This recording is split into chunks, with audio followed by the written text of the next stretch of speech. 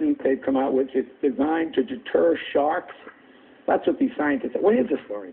Let's hope that a uh, new type of wetsuit technology can help to stop shark attacks. A team of marine biologists in Australia claim a black and white pattern is perceived as danger to sharks. Although it's safe to wear at the beach, we do not recommend wearing it on the Serengeti.